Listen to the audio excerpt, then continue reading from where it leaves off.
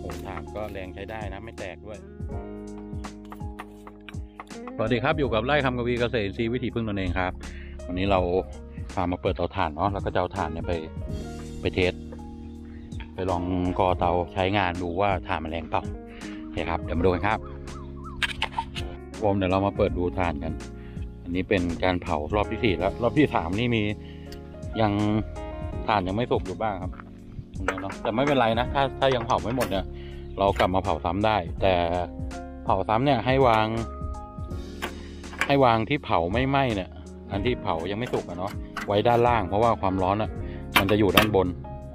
ความร้อนในเตาถ่านเนี่ยมันจะเกิดจากด้านบนมากกว่า ก็คือมันจะเริ่มเป็นถ่านจากด้านบน อันที่เผาสุกบ้างไม่สุกบ้างเนี่ย ควรอยู่ไว้ไว้ด้านล่างสุดไม่งั้นมันจะเป็นขี้เท่าก่อนเรามาดูกันอันนี้เตาที่สี่แล้ว เดี๋ยวพอเปิดเสร็จเดี๋ยวเราไปลองก่อเตาดูว่าถ่านเราไฟแรงไหมนี่ต้องตีหน่อย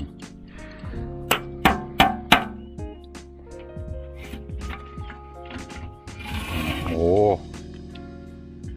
จะได้อยู่เนะ ลองจับ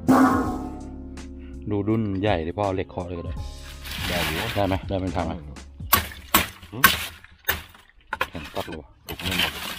อืมมันก็มียังสุกไม่หมดครับ ยัง เพราะว่าเราเราเผาผสมด้วยระหว่างระหว่างไม้ไผ่กับไม้ยูคาเนาะเศษไม้ ก็พอได้อยู่โอเคครับ เดี๋ยวเราไปลองใช้งานจริงๆดูพอดีเดี๋ยวจะทำก๋วยเตี๋ยวเดี๋ยวพักเอาเอาถ่านตรงนี้แหละ ผมกะว่าจะไม่ใช้แก๊สแล้วไม้เรามีเยอะอย่างเงี้ยเผาไปเรื่อยๆครับ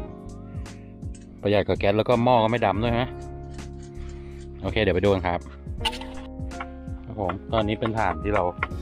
เผามาเองกันเนาะอันเนี้ยจากเตาที่เผาสองสามครั้งแรกผมก็แพ็คใส่ถุงไว้เนี้ยไปใช้งานสะดวกดีแล้วก็มาลองก่อเตาดูมาดูไฟที่เตานะครับโหถ่านก็แรงใช้ได้นะ ไม่แตกด้วย แล้วก็เนี่ยขี้เท่าส่วนส่วนขี้เท่าของไม้ไผ่มันจะเป็นเส้นๆแต่อันนี้หน่อยหนึ่งโหแต่ไฟแรงใช้ได้เลยครับยกเลยนี่ครับสำหรับถ่านไม้ไผ่กับไม้ยูคาผมเผาผสมกันเนาะเนี่ย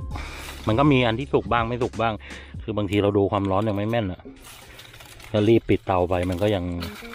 มีอันที่ยังไม่เป็นถ่านร้อยเปอร์เซ็นต์ แต่ก็เจ็ดสิบแปดสิบเปอร์เซ็นต์นะครับใช้ได้ อันไหนยังเผาไม่ดีเราก็เก็บไว้แล้วก็เผารอบหน้า แต่เผารอบหน้าเนี่ยให้ไว้ข้างด้านล่างนี่ครับผมชอบจังเลยไอ้ถ่านไม้ไผ่เนี่ยใช้ดี แรงแล้วก็อยู่นานด้วยเนี่ยเนาะก็ประมาณนี้พามาดูความแรงของถ่านที่เราเผาเอง เดือดแล้ว แป๊บเดียวเดือดเลยแรงมาก ครับผมวันนี้ก็ประมาณนี้เนาะพามาดูถ่านที่เราเผาใช้เองได้น้ำส้มขอนไม้ด้วยถังที่เราซื้อมาครั้งก่อน ก็รู้แล้วทำยังไงเดี๋ยว แกะแบบแล้วก็ลองทำเองดู ที่สวนก็มีไม้ไผ่อยู่เยอะครับนะครับ เออ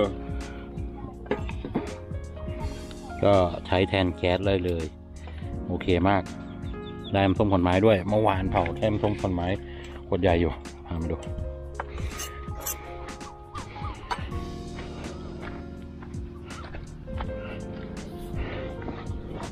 อันนี้สองสองเตาเนาะได้น้ำส้มขอนไม้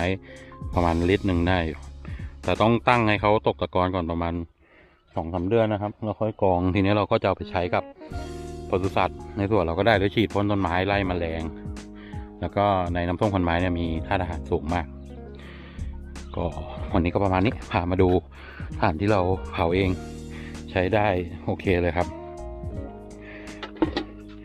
โอเค วันนี้ก็ประมาณนี้เนาะก่อนจากกันไปก็อย่าลืมกดไลค์กดแชร์กด subscribe ให้ช่องไล่คำกวีเกษตรอินทรีย์วิถีพึ่งตัวเองด้วยนะครับแล้วก็อย่าลืมกดกระดิ่งเนาะจะได้ไม่พลาดรับชมคลิปใหม่ๆก่อนใครสำหรับใครมีคำถามเพิ่มเติมก็ทิ้งไว้ใต้คลิปได้เลย ส่วนใครอยากได้ลิงก์ ตาเผาถ่านก็คอมเมนต์ทิ้งไว้เดี๋ยวผมเอาลิงก์มาแปะให้ วันนี้ก็ประมาณนี้เนาะเราวันนี้ลาไปก่อนสวัสดีครับ